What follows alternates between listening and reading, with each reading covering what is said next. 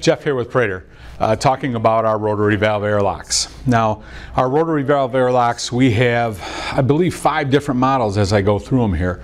Um, the one that we use and sell the most would be our PAV, uh, our Prater airlock valve. Uh, that's our heavy duty valve uh, that is used in probably 80% of our applications. Another one that we offer is the BAV. So the BAV is this valve that we're looking at right here. BAV offers a quick clean option. Um, where the end plate can come off and this airlock can be cleaned uh, without taking the entire end plate apart.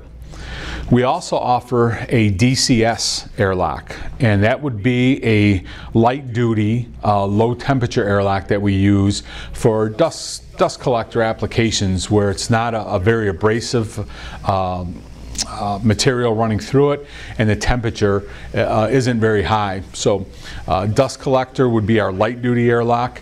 Uh, we also offer a QTA, so that's our quick take apart airlock, very similar to our BAV airlock, however it doesn't have these rails.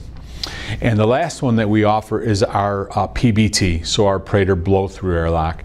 And that is an airlock that has a blow through um, opening on the bottom of both sides of the airlock where if a customer is running a convey line underneath the airlock um, they can bypass a convey line adapter and simply connect simply connect those pipes directly to the openings on both sides of our blow through airlocks so those are the five different types of airlocks that we offer here at Prater.